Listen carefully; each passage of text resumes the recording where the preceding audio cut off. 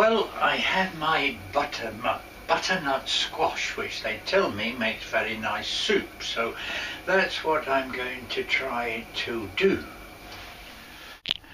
The outside skin was much tougher than I thought, and it needs a uh, a, a, very sharp knife and uh, needs great care in doing it. Now, the first thing I've got to do is to scoop out the seeds from the uh, inside of the uh, squash because I don't want those in my soup and um, then I am going to um, I'm going to bake it uh, so that the uh, the squash is uh, soft so I can then manipulate it to make my soup.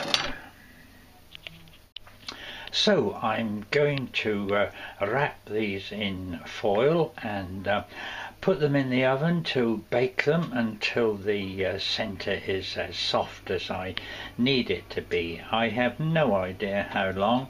This is geriatric cooking, so uh, nothing is very precise, but I'll have a look from time to time until I'm satisfied that the the inner squash is is soft so I can then um, take that out and blend it with some milk and make it into hopefully a very nice soup.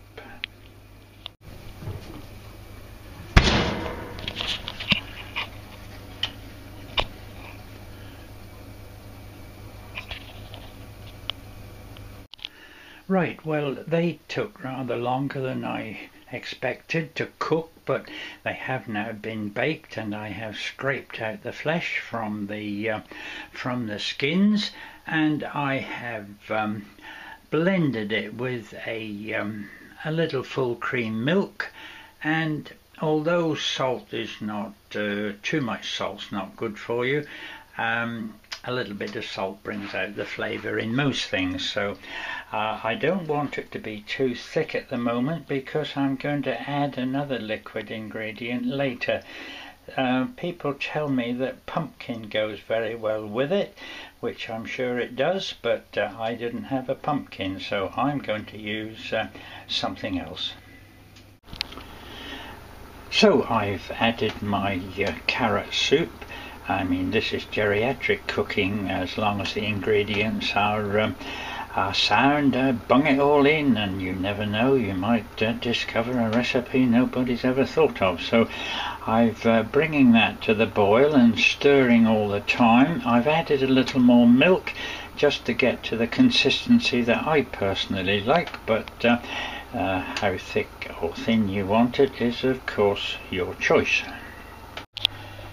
So there's my lovely bowl of butternut squash and carrot soup.